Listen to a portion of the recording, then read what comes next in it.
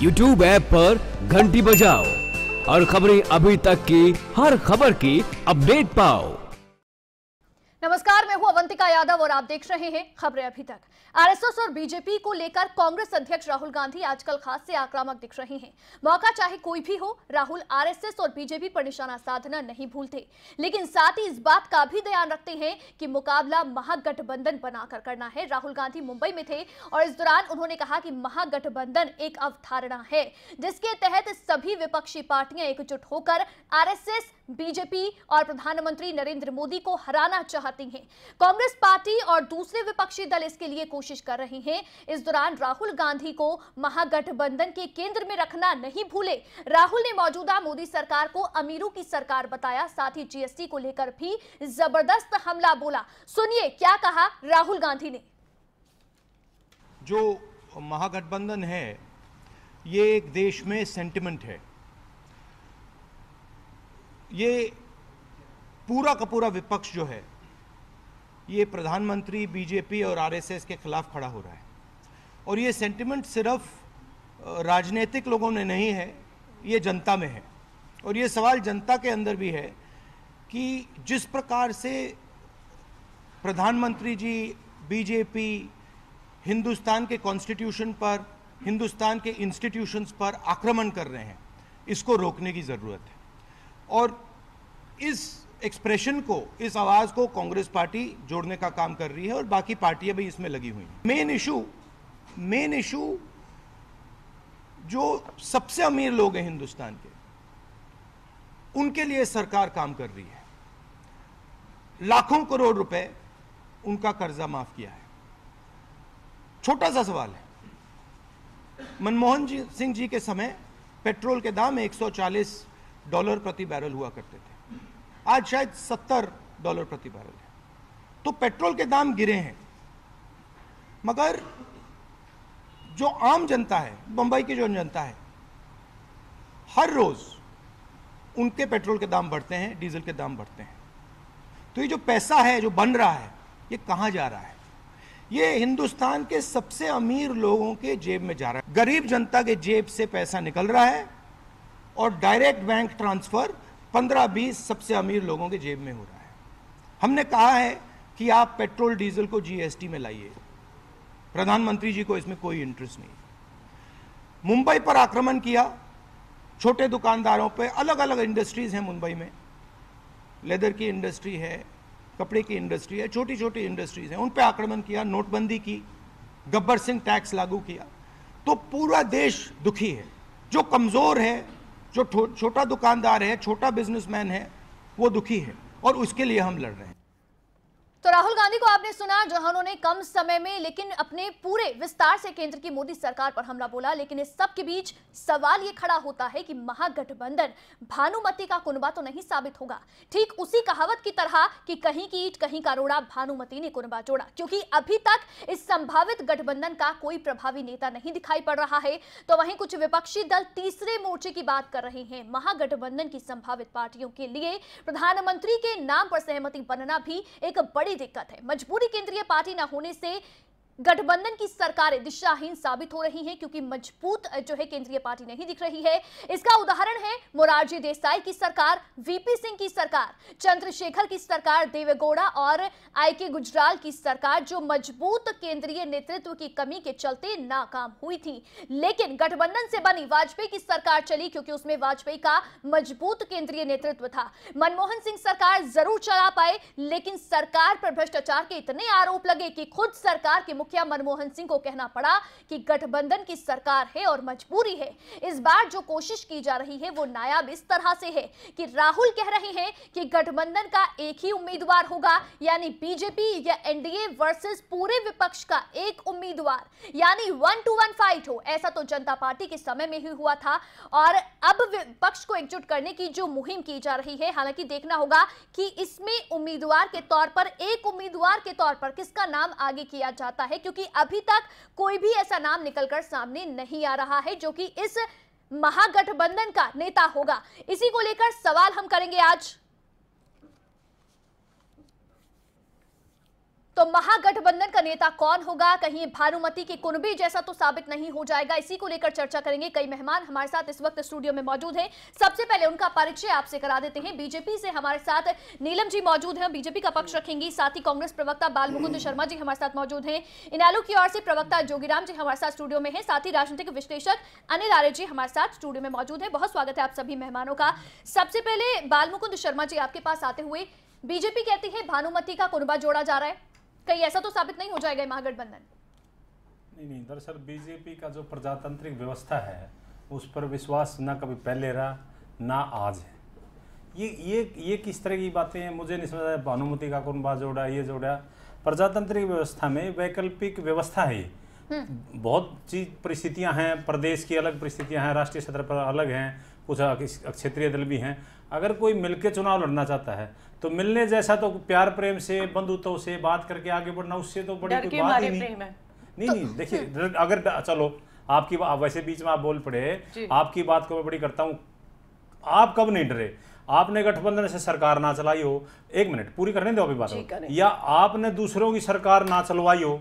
चाहे केंद्र में हो चाहे हरियाणा में। हरियाणा में आज तक ये पहली दफ़ा आपको मौका मिला इससे पहले आप चौधरी देवीलाल के साथ पार्टिसिपेट किया आपने सरकार बनाई हरियाणा विकास पार्टी के साथ बंसीलाल जी के साथ किया। और केंद्र में आपने देवगौड़ा जी की गुजराल साहब की सरकार बनवाई। उसके बाद आपने जो अलमत की सरकार बनवाई अटल बिहारी वाजपेयी जी ने आपने दूसरे लोगों का समर्थन दिया। तो ये आप नहीं कह सकते। मैं तो कहता हूँ मुझे भी नहीं कहना चाहिए और आपको भी नहीं कहना चाहिए। आज है, भी एक- आपको एक- आज भी फिर आपका भानुमति का कुंभा जोड़े आप ये बता दीजिए कृपा करके एनडीए में आज कितने दल हैं? यूपीए से ज़्यादा ही दल हैं। तो आप ऐसा नहीं कह सकते। आप आप पंजाब में कोलिबरेशन नहीं चलिए आप ये बता दीजिए आपके लिए वैकल्पिक व्यवस्था है भानुमति का है सब मिलकर चुनाव लड़ना चाहते हैं। जी। कई दफ़ा हिंदुस्तान की आज़ादी से आज तक पहले बहुमत मिलता रहा है सरकारों को। कांग्रेस पूर्ण बहुमत में रही है 75 परसेंट तक रही है। उसके बाद परिस्थितियाँ बदली हैं देश की। भारतीय जनता पार्टी ने भी कोलिब्रेशन में सरकार चलाई है यूपीए कांग्रेस के टाइम में भी चली है। वो व्यवस्था मुख्य आज क्या है देश के सामने? कुछ नहीं। देश के सामने एक समस्या गंभीर।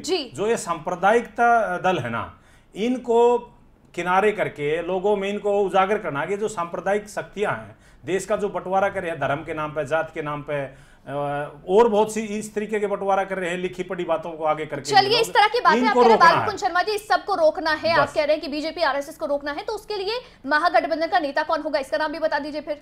राहुल जी हाँ लाजमी बात है। जो देखिए दो मानेगा नहीं कौन नहीं मानेगा? जो देखिए आज भी सबसे बड़े दल के रूप में कांग्रेस पार्टी है। चलिए आप कह रहे हैं राहुल गांधी होंगे। बिल्कुल। राहुल गांधी होंगे। प्रधानमंत्री जी। के हमारे दावेदार जोगीराम जी हैं। जोगीराम जी आप भी केंद्र में सपोर्ट कर रहे हैं। बसपा का साथ आपका है मायावती का नाम आप आगे कर रहे हैं। जो महागठबंधन जोड़ा जा रहा है उसका मुखिया आपकी तरफ़ से कौन होगा? देखिए अवंतिका जी रीजनल पार्टीज़ का एक अपना महत्व होता है।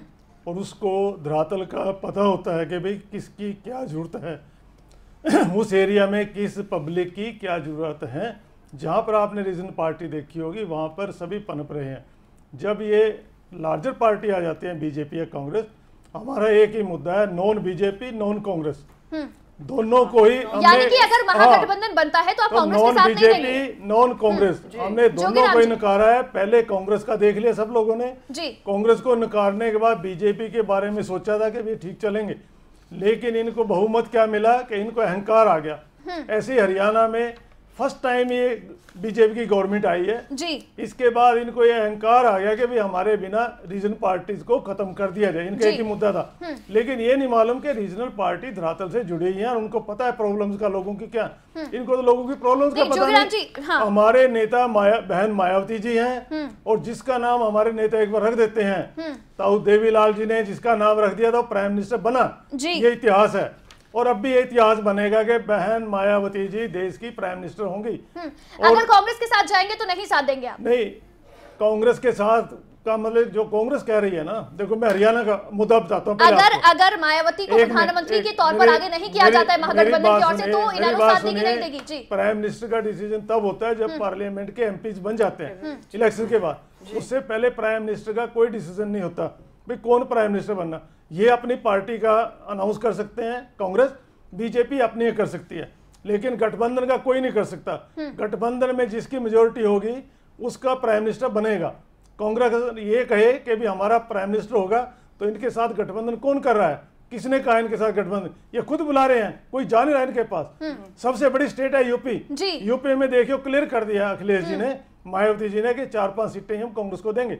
इससे ज़्यादा नहीं देंगे। चलिए, कांग्रेस के पास कोई नहीं जा रहा है, एमपी में इनको ज़रूरत है तो मायावती जी को बुला रहे हैं।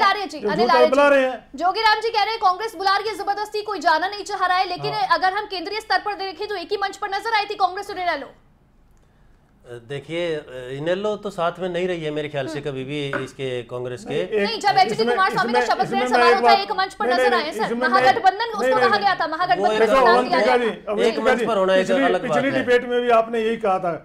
नहीं आप इसको गलत गलत कोट कर रहे हैं। अगर किसी की शादी में सारे चले जाते हैं तो क्या एक मंच पे हो गए ये शादी थी। वो एक मंच नहीं है। वो शादी। इनविटेशन है वो। वो मंच नहीं है। उसको मंच नहीं कहते मंच है देवगौड़ा जी का मंच है चलिए। ना के पार्टियों का मंच देखिए है इनेलो जो है अगर अगर इनेलो हरियाणा अनिल आर्य जी, गठबंधन में नहीं गई है। अगर अगर इनेलो साथ नहीं देती है कहने की नॉन बीजेपी नॉन कांग्रेस हमारा ये नारा है इसी पे हम चलिए चल रहे। यही यही जो। एजेंडा है अगर ऐसी ही स्थिति रहती है तो फिर क्या लगता है आपको कि महागठबंधन जो है जिसकी एक अभी धुरी बनाई जा रही है वो संभव हो पाएगा पाए तो अवंतिका जी देखिए जो इनेलो है वो एक क्षेत्रीय दल है और उसका बहुत बड़ा पार्टिसिपेशन जो है वो किसी अदर स्टेट में नहीं है हरियाणा को छोड़ दें तो और हरियाणा बहुत बड़ी स्टेट नहीं है। हरियाणा में दस ही लोकसभा आते हैं जो इस तरह के दल बनते हैं वो राष्ट्रीय स्तर पर बनते हैं और वो सारी की जो स्ट्रेटी तैयार होती है वो राष्ट्रीय स्तर पर तैयार होती है। और आज के दल जरू- ज़रूरत क्यों हो रही है? पिछले कई सरकारें जो है गठबंधन की सरकारें हैं आज बीजेपी को बहुत सारे लोगों को इस बात की जानकारी नहीं है कि नरेंद्र मोदी जी जो है वो गठबंधन के प्रधानमंत्री हैं। उसमें लगभग 46 46 पार्टियाँ जो है वो गठबंधन में है। और फिफ्टी 1953 में इतिहास की अगर बात करें तो पहला जो गठबंधन होता है वो आंध्र प्रदेश में होता है। और पिछली कंटिन्यू जो गवर्नमेंट्स आई हैं 2004 से लेके आमने सामने हो गई हैं, बिल्कुल कांग्रेस भी गठबंधन में आ गई है बीजेपी भी जो बहुत बड़ी पार्टी है आज है वो भी गठबंधन में आ गई है। गठबंधन की शुरुआत ही राष्ट्रीय स्तर पर बीजेपी ने की है। और एक तीसरा ग्रुप इनसे हमेशा रहता है जब से सेवेंटी सेवन से ये जो है जेपी की मूवमेंट चली थी उसके बाद में एक एग्रीकल्चरिस्ट का ग्रुप रहता है जो बिल्कुल अलग रहता है। वो किसान की बात करते हैं गाँव की बात करते हैं उसके लिए एक क्षेत्रीय दल इकट्ठे हो जाते हैं लेकिन उनकी कभी भी सरकार जो है कंप्लीट नहीं चली है। पहली जो सरकार गठबंधन की चली है वो अटल बिहारी वाजपेयी जी की थी जो 2000 से लेके 2099 से 2004 तक चली है। 2009 का चुनाव तो बिल्कुल यूपीए और एनडीए के बीच हुआ है। और उसमें बहुत ज़्यादा जगह जो है दूसरी उनको नहीं बची थी। और इसी तरह 2014 की बात थी। अब फिर से एक क्षेत्रीय दल की बात हो रही है कि एक क्षेत्रीय दल लेके आएँगे या एक तीसरा मोर्चा बनाएँगे। तीसरे मोर्चे में इनेलो की भूमिका जैसे आप इनसे सवाल कर रहे थे ना कि एक मंच पर क्यों गए वो भूमिका इतनी बड़ी नहीं है। लेकिन तीसरे मोर्चे का नेतृत्व कौन करेगा यह बहुत बड़ी समस्या है। एक बिहार में अनिल आर्य जी अगर राजनीति की बात करें राजनीति में एक मंच पर आने का क्या क्या संदेश जो है जाता है? देखिए उनके अपने रिलेशन है इनके इसके इसके साथ देवगौड़ा जी की सरकार में ये हाँ। शामिल रहे। उसके बाद में एनडीए की इसके अटल बिहारी वाजपेयी जी की सरकार में शामिल रहे हैं। तो इनके निजी रिलेशन होते हैं पॉलिटिकल पर्सन के। वो उस रिलेशन से जा सकते हैं। लेकिन हरियाणा के संदर्भ में अगर हम बात करें तो हाउ इट पॉसिबल के इनेलो और जो है इसमें कांग्रेस इकट्ठे हो जाएँगे। है। ऐसी पॉसिबिलिटी बिल्कुल भी नहीं है। दूसरी एक बात मेरी जो है अधूरी रह गई थी वो ये है कि जो अब परिदृश्य बनता था वो नीतीश कुमार के ऊपर शायद सहमति बन सकती थी या अखिलेश जी दोबारा यहाँ रिपीट करते यूपी में तो उनकी सहमति बन सकती थी वहाँ से लगभग अस्सी जो है एमएलए एमपी जाते हैं वहाँ से।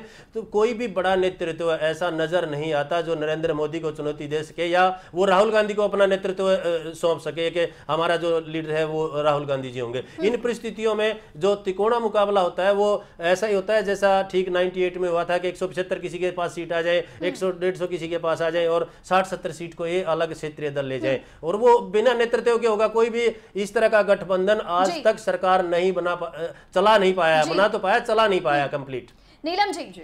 अब अगर कांग्रेस की ओर से गठबंधन को एकजुट करने की विपक्ष को एकजुट करने की कोशिश की जा रही है महागठबंधन बनाया जा रहा है तो फिर बीजेपी उसको भानुमति का कुनबा कह रही है। बीजेपी ने जबकि खुद ही शुरुआत की थी इसकी।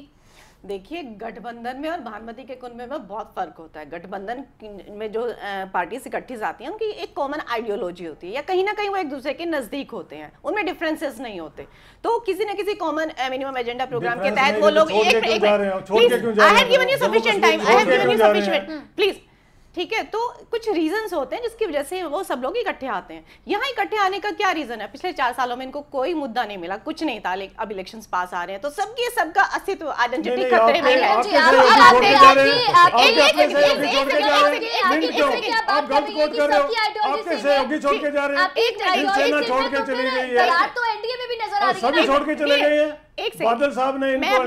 एक- किसने नहीं दिया इनको? जी जी। वो जम्मू कश्मीर पीडीपी के साथ बहुत अच्छी आइडियोलॉजी में था एक सेकंड एक सेकंड ठीक है? तो यहाँ ये जो कुंबा है अवंतिका जी गठबंधन बने सरकार बनाने के लिए। उनकी पॉपुलैरिटी के लिए। प्लीज़। आपके बारे में किसी के बारे में नहीं बोला। अवंतिका जी चलिए आपसे जवाब ले लूँगी जी। मैंने आपकी बारी कुछ नहीं बोला था। नहीं नहीं ओके लेट मी कंप्लीट उसके बाद आप बोल लीजिएगा जैसे मैंने आपके बीच में नहीं बोला था। ठीक है और जैसे इनका कर्नाटक के टाइम ये लोग फ़र्स्ट टाइम इकट्ठे हुए थे गलमैया भी थी गाल से गाल मिला के फोटोग्राफ्स भी खिंचवाए थे और अभी इन्होंने कहा कि ये तो सिर्फ़ एक निमंत्रण था कोई ऐसा प्रोग्राम नहीं था। एक मिनट एक हाँ वो शादी थी और कुछ नहीं था। वो हाँ, इकट्ठी हुई थी। एक मिनट एक मिनट और उसी उसी शादी से उसी माहौल से जब ये सब लोग वापस आए थे तो येचुरी जी ने दिल्ली में आते ही कहा कि उनका जो है इनके साथ तीसरे मोर्चे की तो कोई संभावना ही नहीं है। मायावती खुद 2014 में एक भी सीट नहीं जीत पाई थी। अब वो वो खुद भी मायावती पीएम बनने का सपना देखती हैं। अब जो मुलायम सिंह यादव हैं अभी जब उनका जब घर खाली कराया जाता सरकारी बंगला तो उन्होंने कहा था कि ना मैं बहुत बूढ़ा हो गया हूँ बीमार हूँ मुझे सिर्फ़ दो साल के लिए और ये मकान दे दें। वो भी प्रधानमंत्री बनने का सपना देखते हैं। हाँ। उधर से जो ममता बनर्जी है वो भी अपने ख्याल बनाए रखी है। और जो उड़ीसा से जो थे वो तो उनके यहाँ पे गए ही नहीं थे। तो ये सब एक कोशिश जितने जितने जो दल आपके साथ आ रहे हैं अगर हम मायावती की बात वो एक सपना जो है कर बैठी है प्रधानमंत्री बनने का भले ही प्रधानमंत्री अगर हम ममता बनर्जी की बात करें वो एक अलग ट्रैक पर चलती है शरद पवार की बात कर ले उनकी एक सोच अलग जाती है तो ऐसे में कैसे संभव होगा? एक ही सोच पर सब वो राहुल गांधी के नाम पर। देखो नीलम जी तो कुछ भी कहें वो अभी मैं इनका विस्तृत जवाब दूँगा। इससे पहले अनिल जी ने जो राजनीतिक विश्लेषक हैं काफ़ी अच्छी बात कही। और थोड़ा एक बीच में इन्होंने जोड़ दिए चीज़ों को नहीं इन्होंने एक बहुत अच्छी बात कही। और वो वही बात पैरामीटर तय करेगी देश की राजनीति का आगे चल करके। जो कुछ दल हैं क्षेत्रीय दल है वो किसानों की समस्याओं को उठा करके हमेशा से आगे रखते रहे हैं। किसानों को मांग कर वो अपनी अभी याद है। आपको ये सारी चीज़ें। तो ये समस्याएँ पिछले आपने 40-50 साल से इकट्ठी कर रखे थे जिनको अब हम सुलझा रहे हैं। नीलम जी हम यहाँ लड़ने नहीं आए अपनी बात रखने आए। बता रही हूँ कि आप लोग कैसे तो इकट्ठे हुए तो हो? क्यों ये शोर मचा रहे हो? कोई सोसाइटी नहीं हरियाणा में आपके पास सारे वाला डेटा होता है आप नीलम जी एक बात करिए। जी आप करें आप ज़रूर। जोगीराम जी भी हैं इंडियन नेशनल लोकदल के प्रवक्ता आप दोनों की आपस में नहीं बनती आप कहाँ को इलेक्शन की बात कर रहे हो? आप अपनी से लो बढ़ने की बात आप एक बात हमारे तो प्रधानमंत्री दिलों में है और किसी से भी पूछिए प्रधानमंत्री प्रार्थना करता हूँ। मेरे को आपने समय मांगा मेरे को समय दिया है। या तो मेरी बात पूरी होने या दस बीस मिनट इनको दे दो ये अपनी बात कर ले देखिए अच्छी बात है हमारे बीच में जो राजनीतिक विश्लेषक होते हैं एक तरह से वो मध्यस्थ होते हैं। उनको वो किनारे होते हैं राजनीतिक दल से। उनकी व्यक्तिगत इच्छा हो सकती है किसी दल के साथ लेकिन वो जो बात करे और मैं तो उनकी भी तारीफ़ करें उन्होंने बहुत अच्छी बात कही कि जो देश का राजनीतिक पैमा उन्नीस तक कांग्रेस राज करती रही इस देश में। मैं कांग्रेस के प्रवक्ता के तौर पर यह बात मानने के लिए तैयार हूँ। उसके बाद परिस्थितियाँ बदली। भारतीय जनता पार्टी ने भी और कांग्रेस ने भी गठबंधन की जो सरकार की शुरुआत करी वो भारतीय जनता पार्टी ने की। उन्नीस के बाद जो जेपी मूवमेंट चला किसान आंदोलन हुआ एक तरह से वो और जो किसान नेता थे चाहे वो बादल साहब हो चौटाला परिवार हो चंद्रबाबू नायडू जी लालू प्रसाद सुनिए ना मैं बताता हूँ आपको इन लोगों ने किसानों की समस्याओं को सबसे देवगोड़ा जी है आज भी किसान याद करते हैं देखो उसको कोई विचारधारा नहीं एक विचारधारा बाईस देश में है जो बल्कि इनको जोड़ के दूँगा मैं। एक तो ये जो सांप्रदायिक ताकतें हैं। और एक एक आर्थिक ताकतें भी होगी। एक ये आप सुनो तो ऑन रिकॉर्ड बताओ अब ये आर्थिक ताकतें भी होगी। तो देश के पंद्रह लोगों का इन्होंने कर्जा माफ़ करके देश की ताशरी कर एक और बात आज ऑन रिकॉर्ड अनिल जी जवाब देने इस बात का। नहीं नहीं नहीं जो चंदा इकट्ठा कर रही है भारतीय जनता पार्टी। देश की आज़ादी से आज तक देश की आज़ादी से आज तक देश की आज़ादी से आज तक। मैं कह रहा हूँ देश की आज़ादी से आज तक मैं बात पूरी करूँगा रुकूँगा नहीं। नो नो नो देश की आज़ादी से आज तक इतना पैसा इकट्ठा कर लिया भारतीय जनता पार्टी ने कोई रिकॉर्ड नहीं दे रहे कोई हिसाब नहीं दे रहे कोई बही खाता नहीं इनका कोई बही खाता नहीं इनका। देश देश का मैं कोई बही खाता नहीं तुम्हारा इन लोगों का जो भारतीय जनता पार्टी तो ने तो दफ्तरों का उद्घाटन कर ज़िले वाइज दफ्तर। आप ये बताइए पंचकूला में दस करोड़ की? पंचकूला में दस करोड़ की? शर्मा जी चर्चा पर ध्यान दें आप सवाल है सवाल मैं जवाब दूँगा आप। इनको भारतीय जनता पार्टी के बीच में टपकते हैं बताओ मेरे से है? आप बोलो मेरे को कहोगे तो मैं बोलूँगा। ये बोलेंगे। नरेंद्र मोदी के साथ आपके पास एक भी इस करेक्टर का इस लेवल का टाइम किसका है ये बताओ। आपको समय दिया सर आप जवाब नहीं दे रहे लेकिन बोलो पूछो जी आप। मैंने आपसे दो बार सवाल पूछा तीसरी बार फिर पूछ आप रही हूँ। सवाल यही हाँ। कि अलग अलग विचारधारा है अगर पार्टी जो आपके साथ जुड़ रही है कैसे एक विचार एक ट्रैक पर लेकर आएँगे कैसे राहुल गांधी को प्रधानमंत्री बनवा पाएँगे? राहुल जी का कांग्रेस का एक मत है। हम्म। जो लोग सांप्रदायिक शक्तियों मैं इसको पूरा वर्णन से बताऊँगा आपको बीच में नहीं बोलना किसी ने। जो लोग सांप्रदायिक शक्तियों के खिलाफ हैं वो हमारे गठबंधन में आएँगे। उनका स्वागत है। उनका हम तय दिल से शुक्रगुजार भी रहेंगे स्वागत भी करेंगे। जो लोग फिरका प्रस्त इन ताकतों के पक्ष में रहते हैं या इनके साथ कहीं रहे हो लोग उनकी हमें ज़रूरत नहीं है। हम केवल धर्म निरपेक्ष ताकते हैं जो हिंदुस्तान को आगे बढ़ा सकती हैं जो हमारा साथ देंगे वो कांग्रेस के साथ रहेंगे। हम सांप्रदायिक शक्तियों के खिलाफ दिन रात जुट करके इनका विरोध करेंगे और कंडम करेंगे इनकी बात हो गया। नीलम जी जवाब दे रही हैं आपकी बात का। जी देखिए पहली बात तो ये कि जब भी कोई भी इलेक्शन लड़ा जाता है तो एक नेचुरली सी बात है कि आपके पास एक लीडर होना चाहिए। आप भी जनता से किसी भी पूछे और इनके राहुल जी की बात करें तो उनको आज तक ये नहीं पता आलू खेत में उगता कहा पौधे के ऊपर या ज़मीन के नीचे। कभी वो बात करते हैं कि आलू की तो फैक्ट्री लगाएँगे। और दूसरा अभी बात हो रही थी क्रूड ऑयल की वो पेट्रोल के गाने गाए जा रहे हैं मुझे ये जी, नहीं पता। तीन जी, डिबेट के बीच में ये कह दो ये क्रेडिट नहीं किया गया। दो- खाता खाता नहीं किया गया हो रहा है। अगर मिनट, पर आप ही जी। जी ये जो एक मुद्दा है ना एक नेता का मैं उसकी बात बता रही हूँ। जो व्यक्ति दो लाइन बिना मोबाइल के देखे हमें- हमें नहीं बोल सकता बात नहीं जिसके करने के लिए, अपने ही कांग्रेस पार्टी में कोई नहीं है पूरी जनता जो इनकी कांग्रेस की है वो चौदह सालों से उम्मीद करे कि वो मेच्योर होंगे। आज तक भी वो इस तरह की बातें करते हैं। देश में रहना उन्हें पसंद नहीं उन्हें छुट्टियाँ इतनी मनानी है। ऐसे व्यक्ति क्या आपको को गुजरात में मेच्योर नहीं दिखे वो? गुजरात चुनाव में मेच्योर नहीं दिखे आपको वो? क्या कर्नाटक में मेच्योर नहीं दिखे आपको? ही। गुजरात के राज्यसभा के चुनाव में मेच्योर नहीं दिखे आपको? है। आपको गुजरात के राज्यसभा के चुनाव में अहमद पटेल के राज्यसभा के चुनाव में आपको मेच्योर नहीं दिखे। आपको गुजरात विधानसभा चुनाव में मेच्योर नहीं दिखे। आपको कर्नाटक में वो मेच्योर नहीं दिखे आप बताओ ना। देखिए। जोगीराम जी। आज के दौर में सबसे ज़्यादा परेशान कौन है? किसान और मजदूर। किसान और मजदूर सबसे ज़्यादा परेशान है। हमारी मैक्सिमम योजनाएँ उन्हीं के भले के लिए और सभी खुश हैं। प्रधानमंत्री जी से भी और भारतीय जनता पार्टी की सरकार से भी। आपको तो कुछ आप झूठ तो आप लोग बोलते हैं हैं, आपके सारे के सारे सड़कों पे क्यों घूम रहे हैं? सारे एम्प्लॉय सबको सड़क पे है। सब सबको सड़क है पे पीछे कौन दफ्तरों खड़ा है। में तो कोई है नहीं क्रिया है? जानते हैं अगर हम पीछे आप क्या कर रहे हो? पीछे। आप आपके पास संभालो कुछ उनको बचा ही नहीं है। आप संभालो उनको अपोजिशन का काम है पीछे। आशा वर्कर सड़क पे अपोजिशन का काम कंप्यूटर ऑपरेटर सड़क पे। आप क्या कर रहे हो? क्या ये आपको ऐसे बात नज़र आता है कि बात- विचारधारा चाहे कुछ भी हो लेकिन सिर्फ़ सत्ता हासिल करनी है इसलिए एकजुट हुआ जा रहा है। देखिए, मेरी बात पूरी नहीं हुई है। मेरा किसान और मजदूर के बारे में नहीं, किसान नहीं, मजदूर नहीं, सुनिए। है ना, जोगराम जी, और किसान और मजदूर इकट्ठे होकर अपनी बार राज करेंगे।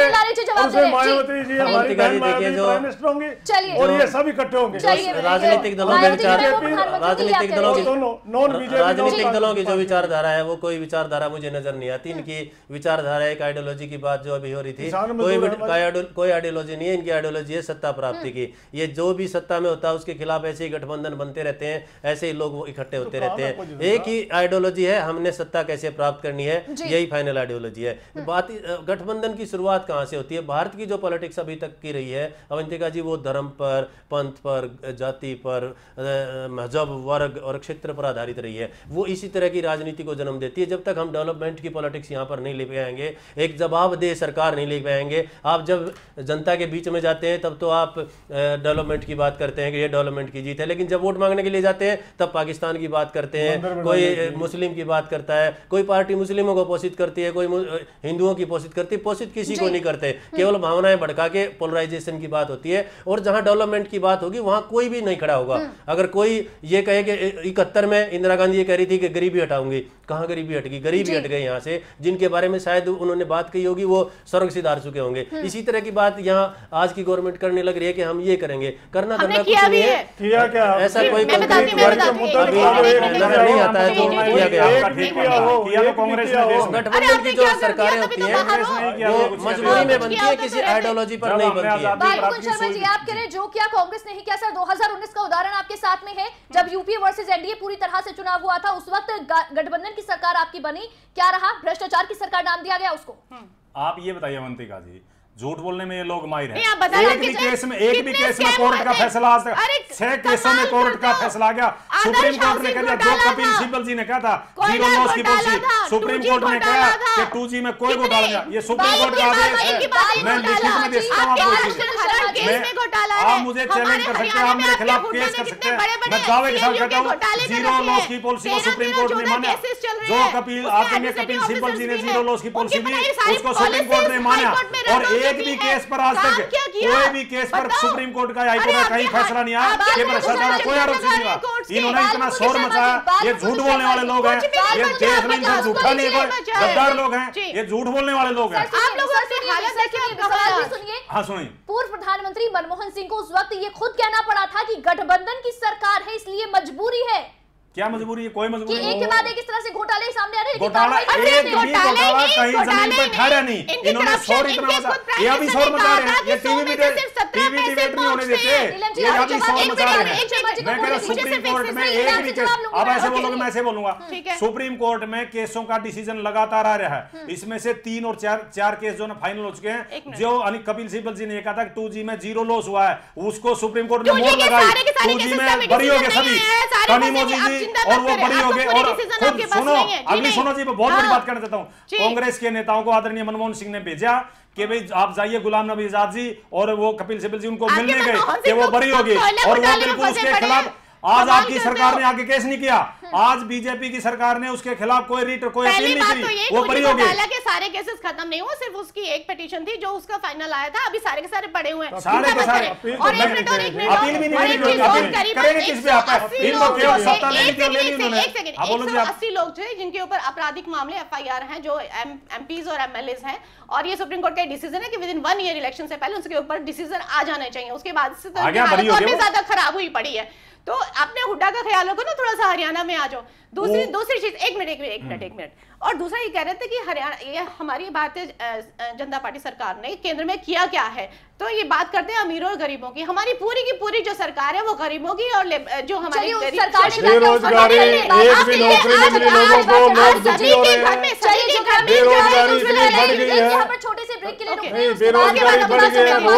खिलाड़ियों का बुरा हाल कर दिया। और किस ब्रेक के बाद एक बार फिर से स्वागत है आपका, और आज हम चर्चा कर रहे हैं कि विपक्ष की ओर से, संपूर्ण विपक्ष को एकजुट करने की जो कोशिश कांग्रेस की ओर से की जा रही है, ये कहाँ तक सफल हो पाएगी, किसके नेतृत्व में चुनाव लड़ा जाएगा, और कौन जो है इस पूरे महागठबंधन से प्रधानमंत्री निकलकर सामने आएगा? क्योंकि जो इतिहास जो कहता है वो यही है कि एक दो बार को अगर हम छोड़ दें तो जो गठबंधन की सरकार बनी है, वो फेल ही साबित हुई है। इसी पर हम चर्चा कर रहे हैं, हमारे साथ तमाम मेहमान जो है, वो स्टूडियो में मौजूद है। अनिल आर्य जी, आपके पास आते हुए कि क्या इस महागठबंधन में आपको कोई ऐसा नेता नज़र आता है, जिसके ऊपर सहमति सबकी बन जाए, क्योंकि राहुल गांधी खुद को कह चुके हैं, अगर जीते तो वो प्रधानमंत्री बनेंगे। मायावती जो है, वो खुद को प्रधानमंत्री के तौर पर प्रोजेक्ट करती हैं। अवंतिका जी देखो दो बातें आप मिक्स कर रहे हैं। एक तो राहुल गांधी जी एक कांग्रेस और एक वो बिल्कुल अलग बात है। और एक जो जिस गठबंधन की बात हो रही है वो बिल्कुल ही एक अलग बात है। एक फ़ोटो है वो वो- साथ हाँ, लाने की उन्होंने कर रही वो- है ना? वो इनविटेशन मिलते रहते हैं वो उन्होंने स्वीकार नहीं किया। एक फ़ोटो अगर एक मुख्यमंत्री जी के शपथ ग्रहण समारोह में एक फ़ोटो खींच लिया गया है या उनको अच्छा प्यार उन्होंने अंडरस्टैंडिंग दिखी है इसका मतलब ये नहीं है कि BSP part of UP Arya ji जो साथ लड़कर कांग्रेस और बसपा लड़ने वाली हैं। हाँ वो वो एक स्टेट का था वो नेशनल लेवल पर कोई भी अलायंस नहीं था इस तरह का। लेकिन अभी कोई ऐसी बातचीत भी नहीं है दोनों पार्टियों की तरफ़ से कोई स्टेटमेंट नहीं आई है कि हम जो है या तो बीएसपी ने कहा हो कि हम यूपीए का पार्ट बनना चाहते हैं या इन्होंने कहा कि हम उसका पार्ट बनना चाह बनाना चाहते हैं। दोनों तरफ़ से ऐसी कोई बातचीत नहीं आई है। हालाँकि जो बीएसपी का वोट बैंक रहता है वो लगभग पाँच परसेंट के आसपास का ऑल ओवर इंडिया रहता है। कुछ कॉन्स्टिट्यूंसीज में वो तीस बीस से पच्चीस परसेंट के आसपास का रहता है। खासकर हमारी हरियाणा की अगर मैं बात करूँगा तो जो जीटी रोड बेल्ट से उत्तर प्रदेश से टच का जो एरिया है वहाँ काफ़ी काफ़ी अच्छी प्रेजेंस बीएसपी की रहती है। और अगर मज़बूत कैंडिडेट के साथ ये उतरे या मज़बूत अलायंस के साथ उतरे तो स्थिति और भी ज़्यादा अच्छी रहती है इनकी। वो अ, इनका एक सांसद भी रहे अमन कुमार नागराज जी। लेकिन राष्ट्रीय स्तर की जो बात आप कर रहे हैं राष्ट्रीय स्तर पर हो सकता है अलायंस मैं इससे इनकार नहीं करता हूँ। राजनीति में संभावनाएँ रहती हैं हर तरह की। लेकिन आज की जो वो है पॉलिटिक्स है वो चरित्र हनन की पॉलिटिक्स है। पॉलिटिक्स के अंदर लोग जो है एक दूसरे नेताओं का बीजेपी वाले राहुल गांधी जी का उसके ऊपर ऊपर बैंक बनाते हैं कटाक्स बनाते हैं। इसी तरह कांग्रेस वाले जो है वो नरेंद्र मोदी जी का उनके मैं तो आज पढ़ रहा था उनके जो योगा के कुछ स्टेप्स हैं उनके ऊपर भी उन्होंने स्टेटमेंट आई है जो गैर ज़रूरी भी है प्रधानमंत्री जी का भी इस तरह का गैर ज़रूरी होता है। चलो वो प्रमोट कर रहे हैं योगा को आप उस तरह पॉजिटिव ले सकते हो उसको। लेकिन नेगेटिव स्टेटमेंट जो है वो केवल और केवल चरित्र हनन की बात है और सभी पॉलिटिकल पार्टीज़ ये कर रही हैं। कोई भी अपना एजेंडा सामने नहीं रख रहा है अपनी आइडियोलॉजी सामने नहीं रख रहा। यहाँ पर लगातार दिखा रहे हैं टीवी स्क्रीन पर ये तस्वीर आप देखिए। इस तस्वीर में आप ये कह रहे हैं कि ये जो है महज इसको महागठबंधन ना माना जाए? भले ही कोशिश की गई कहा गया कि महागठबंधन एकजुट हो रहा है इस मंच अवंतिका जी आप इसको फ़ोटो सेशन कह सकते हैं। इसमें कोई भी जो है? नेता इसमें एक भी लाइन जो आप सामने देख रहे हैं क्या वामपंथी दल राहुल गांधी को अपना नेता मानेंगे? मैं नहीं मान सकता। वो अलायंस में तो आ सकते हैं बाहर से समर्थन दे सकते हाँ, हैं लेकिन हाँ मिल के चुनाव लड़ने की अभी तक कोई स्थिति है। क्या? मायावती। इनको अपना नेता मानेंगे कि मैं यूपी छोड़ रही हूँ इनके लिए और मैं सेंटर की भी कुर्सी छोड़ रही हूँ? तो सारा जो मामला है वो मलाई के लिए सत्ता के लिए सत्ता में आने के लिए गठबंधन बनते हैं और वो समय और परिस्थिति देखकर बनते हैं कोई आइडियोलॉजी देखकर नहीं बनते। अगर आइडियोलॉजी देखकर बनते तो जम्मू कश्मीर में आज सरकार जो है पीडीपी के साथ मिलकर बीजेपी नहीं चला रही होती। अगर समय और परिस्थिति देखकर बनते हैं तो फिर आइडियोलॉजी की बात ही नहीं तो फिर बसपा जो है और या फिर हम सीपीआई की बात करेंगे ये सभी आ सकते हैं ना साथ में? कुछ संभावनाएँ हैं संभावनाएँ हैं हैं, लेकिन आज हैं, संभावनाएँ हैं संभावना से कोई इनकार नहीं किया जा सकता। सत्ता से उससे पहले भी आ सकते हैं बाद में भी आ सकते हैं। हम्म। अलग अलग चुनाव लड़े और परिस्थिति ऐसी लगे कि सत्ता सामने खड़ी है तो ये तब भी अलायंस कर लेते हैं बांट लेते हैं ये मंत्री पद हमारे पास रहेगा ये आपके पास रहेगा ये उसके पास रहेगा। हम्म। लेकिन बात है अलायंस में चुनाव लड़ने की उसी उस परिस्थिति में अलायंस में चुनाव लड़ना संभव नहीं हो पाएगा। मुझ संभव तो है अगर बीजेपी बहुत ज़्यादा मज़बूत रही तो इनका मजबूरी हो जाएगी वहाँ चुनाव लड़ना। इसी तरह जो, कोई भी एक नेतृत्व अगर हम इंदिरा गांधी जी की बात करें हाँ। एक पचहत्तर में उन्होंने इमरजेंसी लगा दी थी। उसके बाद कोई विकल्प नहीं था जेपी जी ने मूवमेंट चलाई और उस मूवमेंट का फ़ायदा जनता पार्टी को मिला। हालाँकि वो अ, सरकार में शामिल नहीं हुए जयप्रकाश जी उनके स्वास्थ्य उन्हें चुनाव भी नहीं लड़ा लेकिन सत्ता आती है वहाँ पे। इसी तरह जो मूवमेंट बना था 2009 से लेकर 14 के बीच में कि बहुत सारे घोटाले आए और वो घोटालों का जो है आरटीआई एक्ट आया था उससे वो डॉक्यूमेंट आ गया। मुना सारे प्रवक्ता सारे नेता मुकर जाते थे कि हमने कोई घोटाला नहीं किया है। लेकिन जब डॉक्यूमेंट आपके सामने है कि ये डॉक्यूमेंट है जी जो आपने आपकी सरकार द्वारा जारी किया हुआ है तो नेताओं के पास कोई जवाब नहीं था आरटीआई के बाद में। और भ्रष्टाचार का आरोप लगता है कैग की रिपोर्ट आती है उसमें एक लाख छत्तीस हज़ार करोड़ से ज़्यादा का नुकसान दिखाया जाता है तो चौंकाने वाली बातें थी। और उसके आरोप का जवाब नहीं था कांग्रेस के पास में। इसका फ़ायदा बीजेपी ने लिया आरोप लगाए गए और चरित्र हनन किया गया। आज इसी तरह का चरित्र दूसरे नेता कांग्रेस वाले भी करने लगे तो ये जो सरकारें बन रही हैं या आज की जो पॉलिटिक्स हो रही है वो चरित्र हनन की पॉलिटिक्स हो रही है और इंडिविजुअल हो रही है। आप नेता का चरित्र हनन कर रहे हैं। ये काफ़ी गंभीर मामला है। 2019-20 तक इसके नज़र नतीजे आने शुरू होंगे जब शर्मा जी सिर्फ़ सत्ता का लोभ है यहाँ पर। वाकई में आइडियोलॉजी जो है विचारधारा तो मिलती नहीं है क्योंकि कितनी ही अलग अलग सोच की पार्टियाँ हैं सिर्फ़ सत्ता के लोभ के लिए सभी पार्टी एकजुट हो रही है। हालाँकि कांग्रेस सफल हो पाएगी नहीं हो पाएगी मैं, मैं आपके जवाब पे जाने से पहले थोड़ा एक बार अनिल जी से कुछ मैं कहना चाहूँगा। आरटीआई कौन लेके आया? मैं वर्बली अनिल जी आपसे केवल कांग्रेस लेके निसंदेह धन्यवाद धन्यवाद। दूसरा इन्होंने मोदी जी के बारे में कहा कांग्रेस ने उनके योगा के ऊपर लॉन्च किया। मैं आप ये बताइए। उन्होंने कहा दोनों तरफ़ से होते हैं। हाँ मैं बताता हूँ। योगा पे उन्होंने जैसे फिटनेस चैलेंज आज का चला हुआ है फिटनेस के लिए वो चैलेंज कर देते दो बंदों का नाम दे देते प्रधानमंत्री को नया नया गाँव मिला हुआ था कुमार स्वामी से।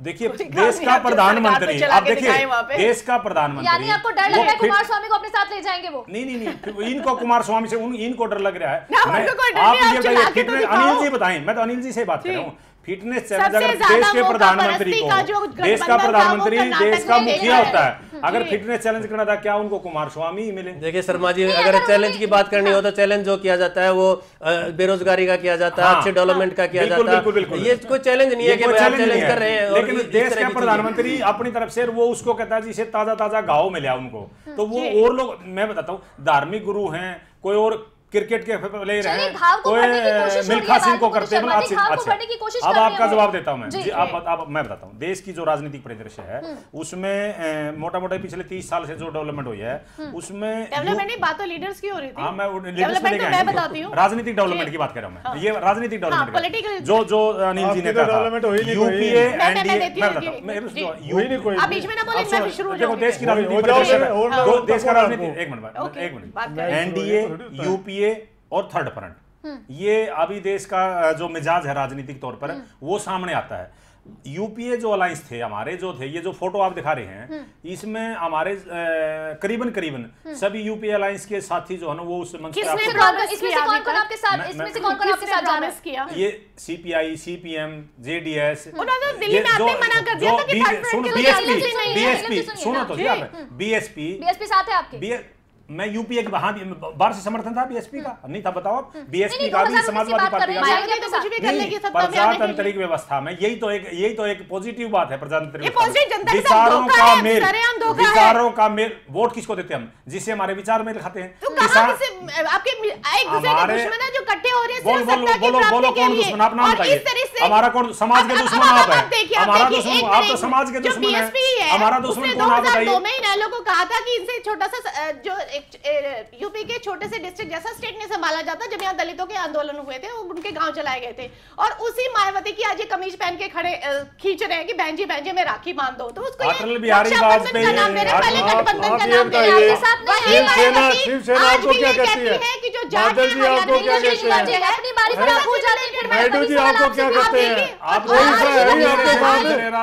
गठबंधन का आप अपने ही भाग्य आपके मिलेंगे कहाँ से आपको विश्वास आपने गठबंधन धर्म निभाया ही नहीं आपने गठबंधन धर्म नहीं सवाल है वो खुद का देखो आपने गठबंधन धर्म नहीं निभाया। बीच में आगे सारी पार्टियों उखाड़ दी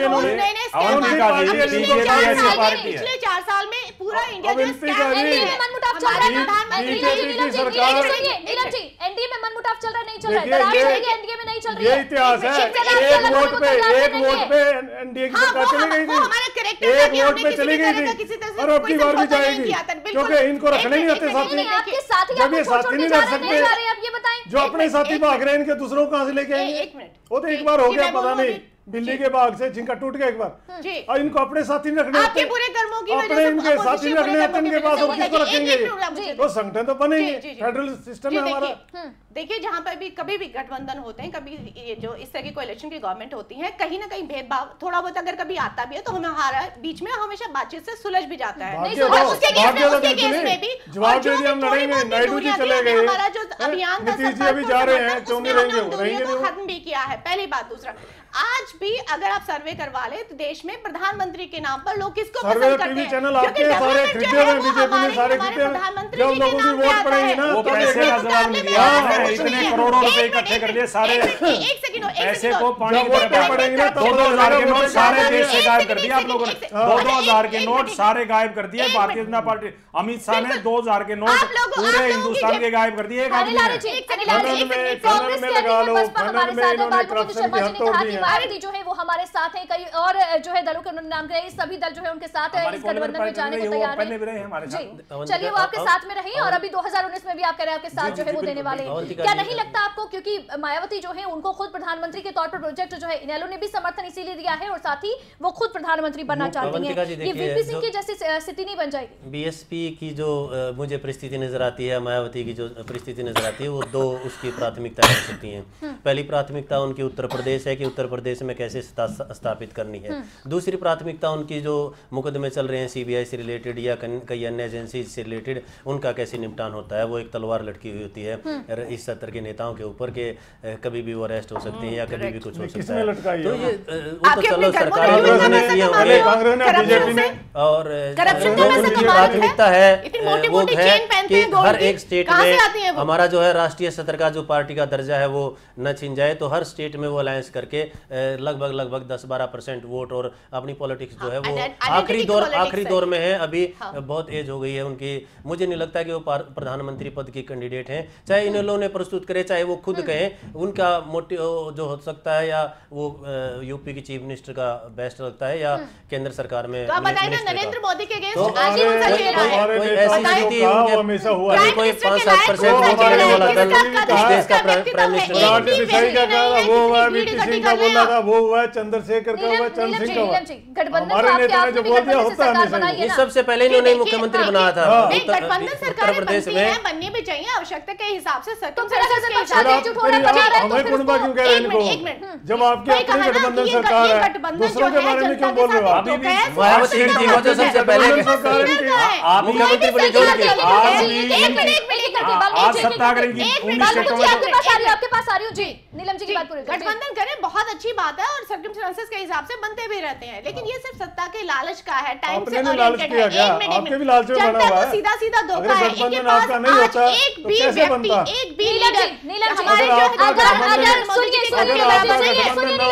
अगर उन्नीस सौ निन्यानवे छोड़ दे हम तो उसके पहले जितनी बार कोशिश की गई क्या वो सत्ता का लालच नहीं था?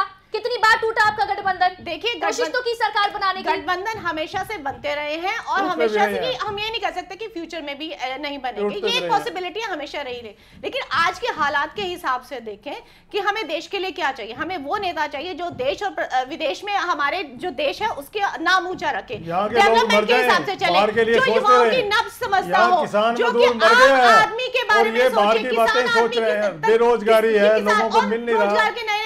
रोज़गार नहीं मिल रहा है। आप महिलाओं के लिए देखे ना एलपीजी उनके घर में पहुँची हुई है बुलेट ट्रेन का क्या करोगे? जब लोग मर रहे हैं बुलेट ट्रेन का क्या करेंगे? नीलम चौधरी जी नीलम चौधरी जी आज उठा रहे हैं की बात कर रहे हैं में इकट्ठा हुआ कितने दल एक साथ आए? वहाँ पर नुकसान हुआ बीजेपी को? वही तो मैं कह रही हूँ कि नमाज़ भी पढ़ने दे रहे हैं। ये इनके काम है। हरियाणा में आज तक कोई दंगा नहीं हुआ। ये बीजेपी की सरकार है जिसने दंगे करवाए हैं? तो जनता को धोखा कर्नाटक में इन्होंने एग्जांपल सेट करके और अगली बार देखना एक भी एमएलए आ जाएगा के लिए सत्ता इलेक्शंस के बाद भी किसी भी तरह का समझौता कर सकते हैं। तो ये जनता की नॉर्थ ईस्ट में नॉर्थ ईस्ट में कितने सुनिए सुनिए नॉर्थ ईस्ट में। आपकी तो हालत आपको बहुत समय मिला? जी बात बीजेपी ने महबूबा मुफ्ती के साथ जम्मू कश्मीर में सरकार बनाई। मैं पूछ रहा था वो कौन सी आइडियोलॉजी आपकी? क्योंकि वो मेजोरिटी में थे और इसलिए हमने उनको सपोर्ट किया ताकि वहाँ पे एक अच्छी सरकार और अच्छी चल भी रही है कोई तो दिक्कत तो कर्नाटक में समर्थन करके क्या अरे एक मिनट कर्नाटक में क्या था इनका तमाशा? इलेक्शन ऐसी पहले हमारा तमाशा। हाँ। आपका आपने अलग में होते हुए मुख्यमंत्री का दावा पेश किया और आप सरकार नहीं बना पाए आपकी आपकी आपकी वहाँ आपकी बात तो ही नहीं हुई। आपकी सत्ता की तोहिन हुई। आपने सत्ता के नशे में वहाँ सरकार बनाने के लिए दावा पेश किया और आप मत में जेडीएस ने इलेक्शन लड़े थे एक बात के ऊपर कि जब वो सरकार में आएँगे तो जितने भी करप्ट लीडर्स हैं सबको जेल में डालेंगे कांग्रेस के अगेंस्ट था अब उनके साथ सरकार बना के बैठे किसको जेल में डालेंगे अरे हम तो देश के अंदर गठबंधन ये मैं तो- मैं बताता हूँ। ये तो मैं मैं आप सुनो आप सुनो आप सुनो। मैं अब सुनो अब आप सुनो अब आप सुनो। मुद्दा को अंदर कर दिया ये जो मैं महबूबा मुफ्ती से इन्होंने गठबंधन किया नरेंद्र मोदी बगैर वीज़ा पासपोर्ट करे पाकिस्तान गए वहाँ पाकिस्तान में बैठ के मीटिंग करके आए और फिर इनका महबूबा गठबंधन नहीं गए नरेंद्र मोदी रातों रात। पाकिस्तान गए वो लोग। आपका हमारे देश का प्रधानमंत्री रातों रात पाकिस्तान जाता है बगैर इंफॉर्मेशन के। और यहाँ इनकी सरकार बन जाती है। पाकिस्तान पाकिस्तान पर सरकार बनाई आप लोगों ने क्या आइडियोलॉजी आपकी? आप ये बताइए पाकिस्तान गए आपका प्रधानमंत्री? बगैर बताए पाकिस्तान प्रधानमंत्री नरेंद्र मोदी का। और उन्होंने अरे कमाल करते हैं? नरेंद्र मोदी बगैर देश को बताए पाकिस्तान गया और तो मोदी सरकार बना पाकिस्तान के कहने सरकार में शामिल हो गया। हम देश के नागरिक हैं जेडीएस के साथ मिलकर सरकार बनाई उस पर तो उंगली उठाते हो। और आपने पाकिस्तान के लोगों से मिलकर सरकार बनाई अपनी सुनिए। अनिल जी से सवाल हो रहा है। सत्ता का लोभ है जो कह रहे हैं आप कि महागठबंधन जो है करा जा रहा है या गठबंधन जो किया जाता है सत्ता के लोग की वजह से हो रहा है आज। क्या जनता के जो मुद्दे हैं वो छूट रहे हैं हम्म। वह सत्ता के लोग के पीछे?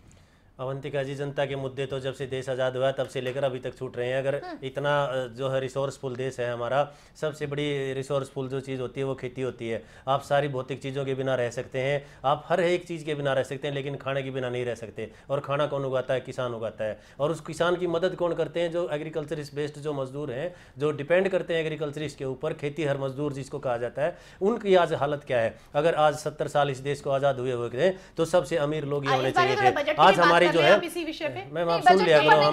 मेंशन करें ना इस बार का हमारा पूरा बजट किसानों पर आधारित है। खर्च हुआ है। खर्च हुआ है बजट खर्च हुआ है बजट ये। तक मैडम जी मैडम मैं मैडम की बात का जवाब दे दूँ कि बजट बजट बजट जी आज तक गवर्नमेंट ऑफ़ हरियाणा ने आज तक आज तक गवर्नमेंट ऑफ़ हरियाणा ने बजट कितना किस मद में खर्च किया है उसकी लिस्ट आज तक वेबसाइट पर नहीं डाली और ये और ये 2015 से लेकर आज तक हरियाणा की गवर्नमेंट ने बजट किस मद में खर्च किया है। ऑनलाइन नहीं है अनुमानित बजट है नहीं नहीं है ना। नहीं अनुमानित है अनुमानित है। अगर मैं कह रहा हूँ आप सॉरी फील करें कर लेना अगर ये बात हो। अभी खोल। दिखाने से क्या होता है? अनुमानित तो बजट है दो हज़ार कितना बजट कहाँ पर आया है उसके कोई मायने नहीं रखते। हैं मैं बहुत अच्छी है। बहुत अच्छी है लागू करो रखी है योजनाएँ सारी अच्छी तो होती हैं। योजनाएँ तो गरीबी हटाओ भी अच्छी थी। योजनाएँ सारी अच्छी होती है। कर्जा माफ़ी भी अच्छी थी। घर का पेंशन भी अच्छी थी। सारी योजनाएँ अच्छी है।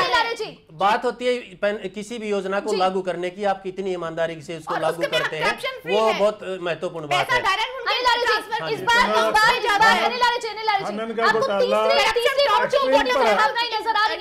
हाँ गठबंधन से इनेलो या बसपा आप कह रहे हैं कि वो साथ उतनी आसानी से नहीं जा पाएँगे तो तीसरा मोर्चा जो है वो आपको किस तरह से नज़र आ रहा है? देखिए इनमें यही एक बहुत बड़ी दुविधा की बात हो रखी है कि जैसा बिहेव वहाँ स्टेज के ऊपर सोनिया गांधी जी का मायावती जी के प्रति था काफ़ी पॉजिटिव आई थी और वो फ़ोटो सेशन भी मुझे लगता है अगर उस फ़ोटो को हम या तो उस वीडियो क्लिप को बार बार देखें हाँ। तो वो सोनिया गांधी जी की तरफ़ से था। हम्म। मायावती जी तरफ़ से नहीं था ज़्यादा था।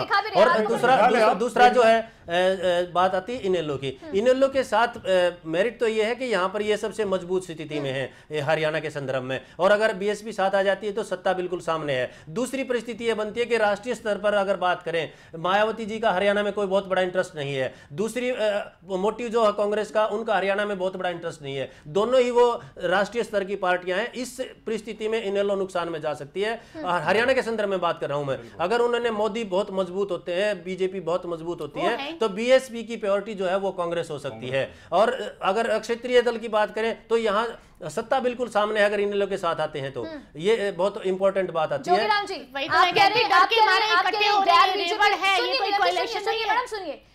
जोगीराम जी आप कह रहे हैं गैर बीजेपी गैर जो है कांग्रेस जो है आप उस तीसरा मोर्चा जो है बनाने की कोशिश है। बसपा के साथ आप जो है गठबंधन हरियाणा में कर भी चुके हैं उसी के साथ लड़ेंगे भी। लेकिन कोशिश है और साथ ही संभावनाएँ कि वो केंद्र में कांग्रेस के साथ जा सकती है। जी देखिए हम्म। फ़र्स्ट टाइम नहीं है।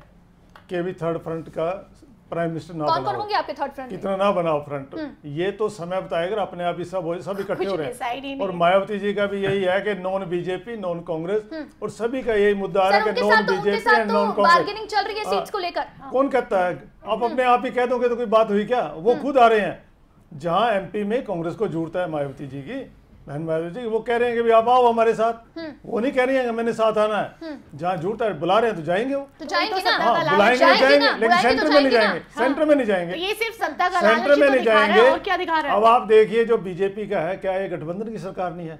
ठीक है अभी इनकी पूरी मेजोरिटी आ गई वो भी अब नीचे चली गई है। हारते हारते ये मेजोरिटी हाँ। से नीचे आ गए हैं। में आज के डेट में हमारे पास सबसे ज़्यादा एमएलए हैं देखोगे ना किसी आगे जाके देखोगे तो इसका और इसमें इन्होंने इन्होंने हुड्डा साहब को अंदर किया। इन्होंने अंदर किया।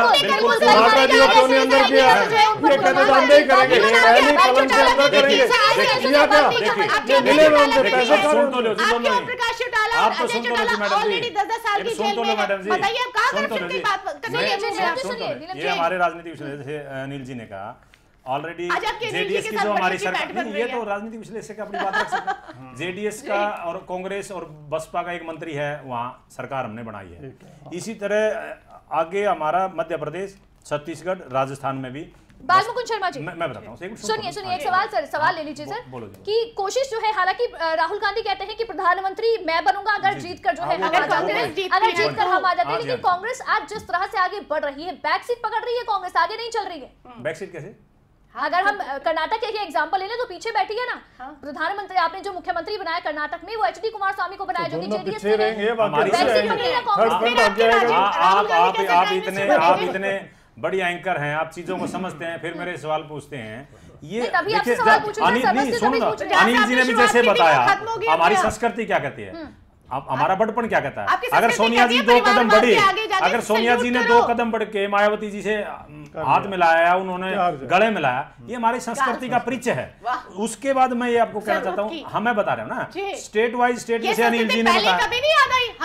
मैं ऐसा नहीं कह रहा मैं एक तरफा कह रहा हूँ। अनिल कॉर्नर है इंडियन नेशनल लेकिन कितनी बार कितनी बार कांग्रेस के खिलाफ बोलती रही है? आपको भी ध्यान होगा। ममता बनर्जी तो कांग्रेस का अंग है जी। हैं? आपको उनकी पार्टी का नाम पता है? कांग्रेस से जो आज तक निकला है वो शरद पवार वो। राष्ट्रवादी कांग्रेस पार्टी। ये तृणमूल कांग्रेस पार्टी। शर्मा जी ऐसे वीडियो ऐसे वीडियो चंद्रबाबू नायडू और प्रधानमंत्री जी के लिए जिसके शब्द के पीछे कांग्रेस लिखा हुआ है।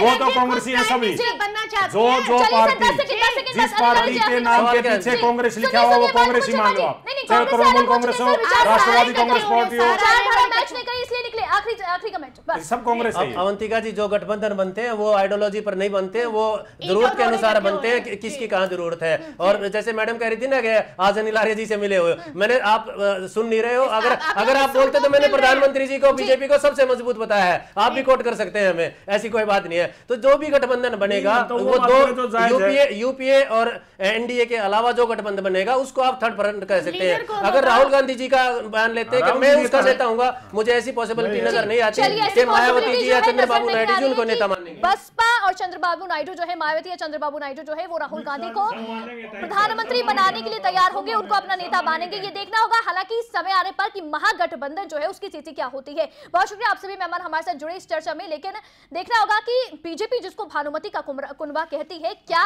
वाकई में वो जो है असली कुनबा साबित होता है? क्या सभी एकजुट जो है वो हो पाएँगे? और प्रधानमंत्री कौन बनता है? इसको लेकर क्या सहमति बनती है? इस पर भी नज़रें बनी रहेंगी। फ़िलहाल दीजिए इजाज़त नमस्कार।